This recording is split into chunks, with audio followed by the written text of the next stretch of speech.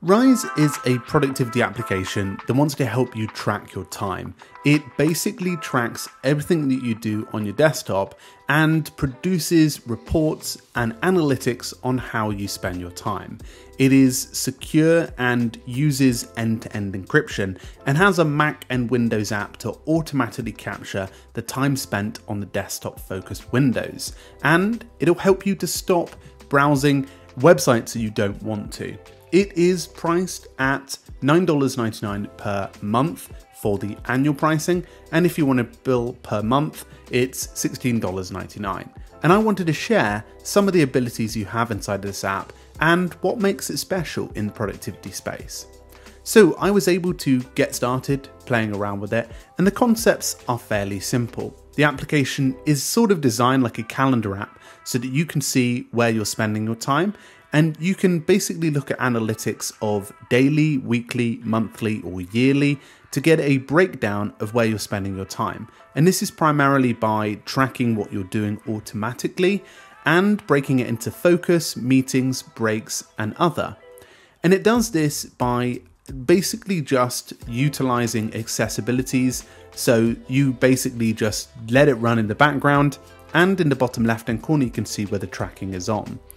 In general, this application has two push metrics, which are essentially projects and goals, which will allow you to really set a definition of what you're aiming towards. You can assign any of your focus time towards that, or you can track a project in the background over the activity that you're doing. Now, obviously, as the activity is tracking, it gets a sense of what you're focusing on. So, for example, as you it learns about you, it'll pick up what categories you typically go on, and of course, begin to recommend projects associated to the time. But you can either manually track or you can track automatically, which will help you save a bit of time. Now, I started a few sessions, and the focus sessions were quite easy to start. You can also set music in the background, which was really nice. There's some AI abilities in here, like overworking, break notifications, as well as distraction notifications. For example, I went on product hunt during a writing session that I associated to a project, and it gave me an indication quite quickly that I shouldn't be on the site that I was on, and it directed me back to try and keep focused. Now, in terms of the general analytics that you get, they're quite helpful. It gives you a breakdown of where you're spending your time and what apps you went into, which is really helpful. It'll also help with the timer to help you to set a timer and see that in the Mac menu bar. Well, at least I could.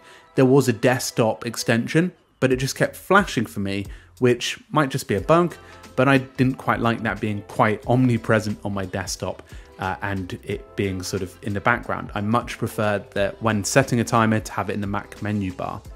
After each of the sessions that you have, you can get a session breakdown, which gives you an indication of what focus time you actually spent on the task at hand. For example, if you started writing and you had a mission for writing, then it's going to indicate that you weren't necessarily spending quality focus time. So, whatever you've associated to, do, it will naturally help to define what task you're working on.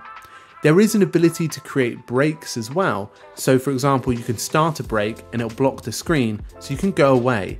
And I actually didn't set a break, but what it did is when I closed my laptop and went away, it assumed I was having a break, which was sort of helpful, but could be that I was working on something offline.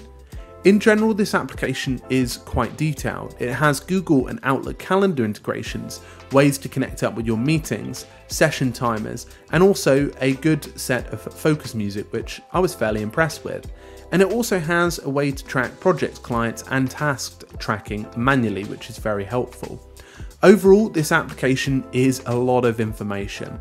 For some people, it might be a great way to be much more accountable, but for others, it might be overkill of information. It's available through Mac and Windows and has some AI abilities.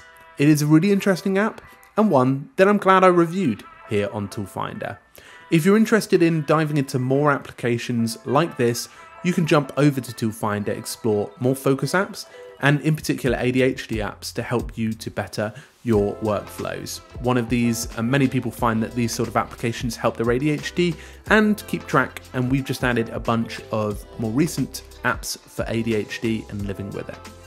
So, thank you very much, and I hope this was helpful in giving you insights into what the Rize is right for you.